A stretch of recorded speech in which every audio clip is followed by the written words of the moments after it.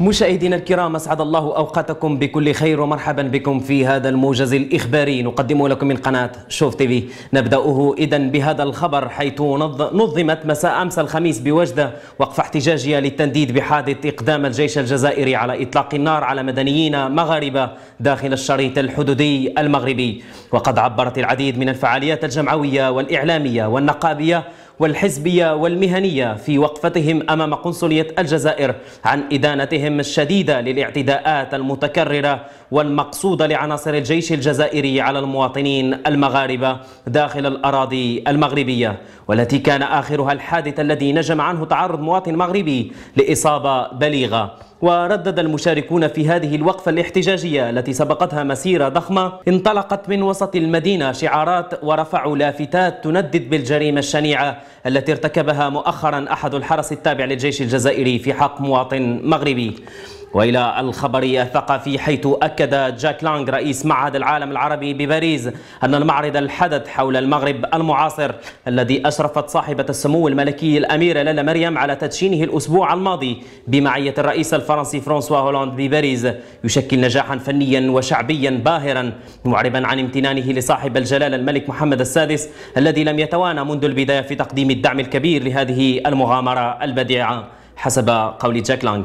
وقال جاك لانغ في حديث لوكالة المغرب العربي للأنباء إن الأمر يتعلق بنجاح فني لكون هذه التظاهرة هي ثمرة عمل جماعي تم في إطار روح الصداقة والثقة مؤكدا في هذا الصدد انخراط السلطات والمؤسسات الثقافية المغربية التي عبأت طاقاتها ومواهبها من أجل إنجاح هذا الحدث. وإلى الخبر الدولي حيث أعلنت وزارة الصحة المالية في بيان مساء أمس الخميس تسجيل أول إصابة مؤكدة بفيروس إيبولا لدى طفلة وفدت من غينيا المجاورة ووضعت قيد الحجر الصحي في كايس. وقالت الوزارة إن إصابة مشبوهة بإيبولا لدى طفلة عمرها عامان أتت من كيسيدوغو في جمهورية غينيا وصلت الأربعاء إلى مستشفى في كايس وقد تأكدت إصابتها بالفيروس الخميس وأضافت عبر هذه النتيجة إثر تحليل مخبري تشهد مالي أول إصابة بفيروس إيبولا مصدرها الخارج. مؤكدة وضع الطفلة وجميع من كانوا يحوطونها في الحجر الصحي وقالت منظمة الصحة العالمية اليوم الجمعة إنها سترسل خبراء لمساعدة مالي على مكافحة الإيبولا بعد يوم من تأكيد. أول إصابة بالمرض هناك.